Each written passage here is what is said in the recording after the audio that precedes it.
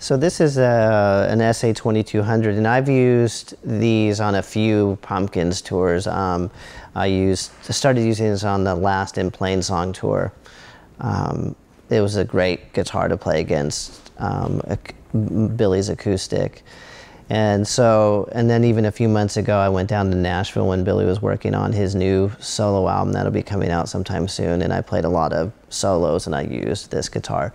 Um, so I tend to use this um, on not heavy stuff, but kind of more the, the mellower type of things to, um, it sits really well against the acoustic guitars and you can, it doesn't take up a lot of space. Again, like many Yamaha guitars, they have, um, which is which is what which is what I love about a great guitar is that it has a very defined sonic space, and these guitars in particular, they just sit against the band so well, and that's that's the kind of thing that not only as a player do you want, but it makes your sound man very happy in that your guitar is fitting in a certain place so they can they can find a slot for you and you can be heard and you know they can find room to fit other things. And so these are extremely musical guitars and um, I'm really shocked at the uh, the range of sounds I'm, I'm able to get from this.